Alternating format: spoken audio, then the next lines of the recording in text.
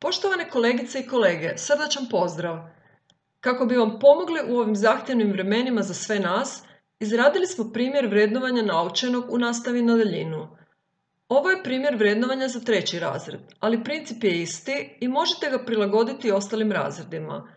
Nadamo se da će vas inspirirati da i sami pokušate osmisliti nešto slično. Primjer vrednovanja izradio je mentorski tim. Virtualno okružje vrlo je pogodno za vrednovanje za učenje i vrednovanje kao učenje. Za razliku od formativnog vrednovanja koje se može provoditi s lakoćom, vrednovanje naučenog veći je izazov zbog toga što su neke uobičajene metode vrednovanja naučenog teže provedive. Elementi vrednovanja u likovnoj umjetnosti proizlaze iz domena ukazujući na različite aspekte znanja, sposobnosti i vještina učenika. A to su stvaralaštvo i produktivnost, doživljaj kritički stav i umjetnost u kontekstu. U domeni stvaralaštva i produktivnost vrednuju se etape i rezultati istraživačkog rada. Etape koje je moguće vrednovati su osmišljavanje koncepata istraživanja, istraživanje izvora, pisani rad, prezentacija vizualnih rješenja, te likovne reinterpretacije i rekonstrukcije za četvrti razred. Istraživački rad izvodi se u skupini, paru ili pojedinačno. Kod istraživanja u skupini paru učenici se ocjenjuju zasebno, ovisno o izvedenome segmentu istraživačkog rada. Učitelj može vrednovati svaku etapu učenikovog rada pojedinačno ili njegov istraživački rad u cjelini. U domeni doživlja i kritički stav vrednuje se razumijevanje i primjena likovnog jezika, sposobnost analize likovnog dijela, izražavanje vlastitog kritičkog stava i argumentirano iznošenje mišljenja te predlaganje vlastitih rješenja. Ponekad se ovisno o planiranju i razredi teme vrednuje svaki od navedenih podelemenata zasebno, a ponekad zajedno. Vrlo je bitna činjenica da se razumijevanje likovnog jezika vrednuje kroz primjenu likovnog jezika u analizi dijela, prepoznavanju stilskih karakteristika i sl. Ne traži se tumačenje pojmova bez njihove primjene, Sposobnost analize likovnog dijela vrednuje se kroz cjelovitu analizu ili analizu ciljanih elemenata forme, potrebnih za razumijevanje dijela, odnosno stila ili kritičkog doživljaja dijela. U domeni umjetnost u kontekstu vrednuje se razumijevanje umjetničkih dijela i likovnih problema u odgovarajućem kontekstu. Smještanje dijela u stil ili razdoblje, poznavanje stilskih karakteristika, diakronijsko i sinkronijsko povezivanje. Svi odgojno-obrazovni ishodi vrednuju se sumativno. Vrednovanje naučenoga sumativno je vrednovanje kojim se procjenjuje usvojenost odgojno-obrazovnih ishoda nakon određenog razdoblja učenja i poučavanja. Ono daje informaciju o ostvarenju ishoda u određenim točkama odgojno-obrazovnog procesa. Vrednovati se mogu pojedini ishodi, grupa ishoda unutar iste domene ili se mogu kombinirati ishodi iz više domena. Pogledajmo najprije koje sve metode vrednovanja naučenog možemo provoditi u našem uobičajenom razrednom okružju. Naravno da u online nastavi sve metode vrednovanja naučenog nisu provedive. Stoga smo za vas pripremili primjere vrednovanja koje možete provesti u nastavi na daljinu. Ovo je primjer složenog zadatka vrednovanja naučenoga, a može se provesti u cijelosti, na taj način možete upisati ocjene iz više elemenata ili samo u nekim segmentima pa upisati recimo ocjenu iz jednog elementa. Zašto smo se odlučili baš za taj zadatak? Zadatak je u cjelini zamišljen kao projektni zadatak koji učenici rade tri tjedna u grupama po četiri učenika. Osmislili smo ovako zahtjevan zadatak da bismo obuhvatili što više sastavnica za vrednovanje koje onda vi kao nastavnici možete birati kako vam odgovara i njima nadopunjavati neki vaš zadatak. Važno je učenicima pružati potporu u procesu rada te oblikovati i prilagoditi materijale. Najbolje ćete sami procijeniti kolika opterećenost učenika je najprikladnija u pojedinom trenutku, jer ih vi najbolje poznajete. Što smo htjeli provjeriti ovim zadatkom?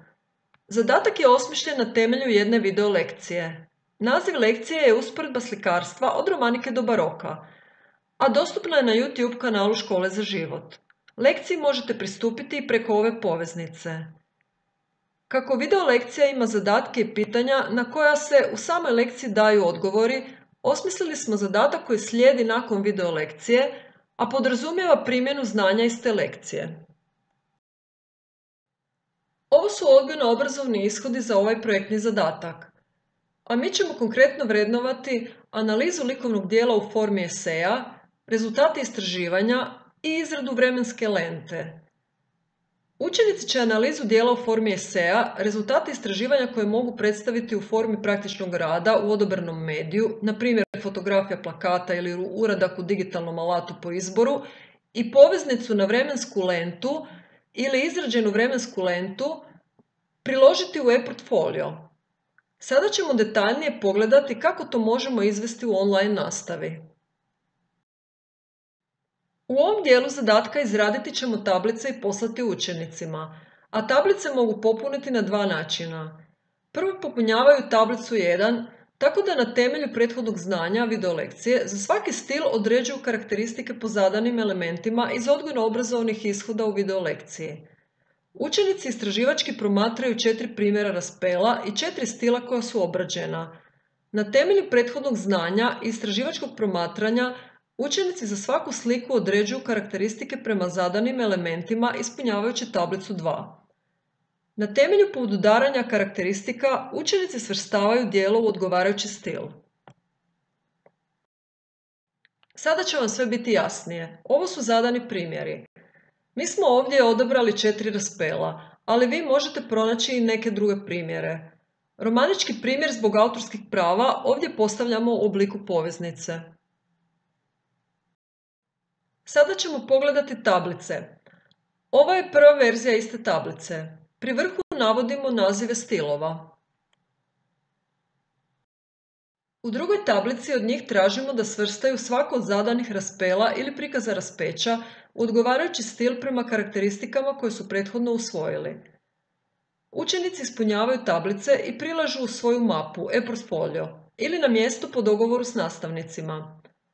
Na temelju prethodnih aktivnosti svaki učenik u grupi piše analizu jednog dijela u formi eseja. Analizu isto tako prilažu u e-portfolio. Naravno, važno je učenicima pomoći u različitim fazama rada i davati im povratne informacije kako bismo ih pravovremeno usmjerili. Drugi dio je istraživački dio. Učenici istražuju trajanje stila, gdje se stil javlja, društveno-povijesni kontekst koji utječe na karakteristike stila, te pronalaze još najmanje dva primjera svjetske baštine i jedan primjer nacionalne baštine. Tijekom istraživačkog učenja učitelj prati učenike i komunicira s njima u odabranim kanalima, te procjenjuje gdje se učenik nalazi u odnosu na razinu ishoda koju može postići i gdje treba intervenirati i usmjeravati učenike. I tu treba naći pravu mjeru. Učenicima je potrebno ostaviti dovoljno vremena za samostalno traženje odgovora, ako previše pomažemo učeniku, on ostaje u zoni komfora i neće napredovati.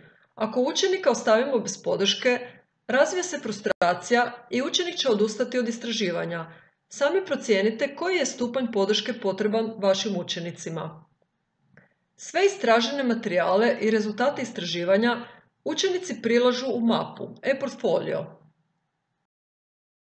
i ostao nam je još treći zadatak za učenike, a to je izraditi vremensku lentu od romanike do baroka, koja treba sadržavati trajanje stila, stilske karakteristike slikarstva pojedinog razdoblja, primjere zadanih dijela, objašnjenje konteksta, legendu i podatke o svakom dijelu, autor, naziv, godina i stoljeće nastanka, gdje se dijelo nalazi i izvore podataka, i ovdje ih je potrebno usmjeravati, a zajedno mogu raditi na istoj lenti. Poveznicu na lentu ili izrađenu lentu učenici predaju u mapu, e-portfolio. To može biti i OneNote bilježnica.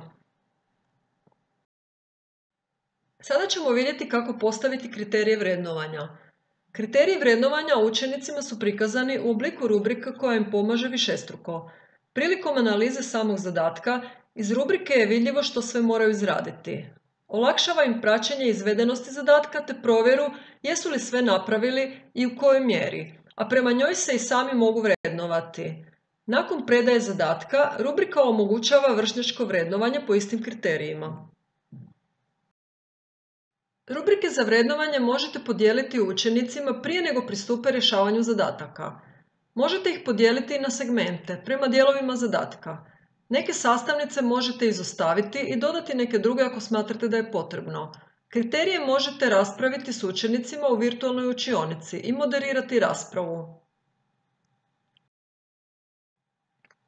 Evo još jedna rubrika za analizu likovnog dijela. Cijeli zadatak s rubrikama i primjeri bodovanja rubrika dostupan je u PDF dokumentu i nalazi se u virtualnoj učionici likovne umjetnosti, u forumu za razmjenu materijala i pomoć u nastavi na daljinu. Nadam se da će vam ovaj primjer vrednovanja u nastavi na daljinu biti od pomoći. Lijepo vas pozdravljam i želim ugodan ostatak dana.